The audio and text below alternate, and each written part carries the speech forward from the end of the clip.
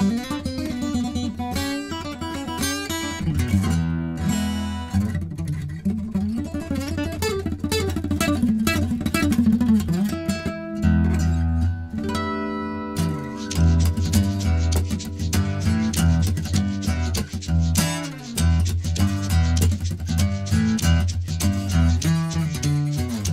up this morning with a stranger in my bed.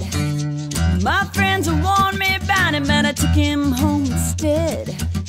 Don't know about you, but I'm so tired of being good. I'm Gonna live my own life, let that be understood. Independence has never been my game. Now it's my time to go completely insane.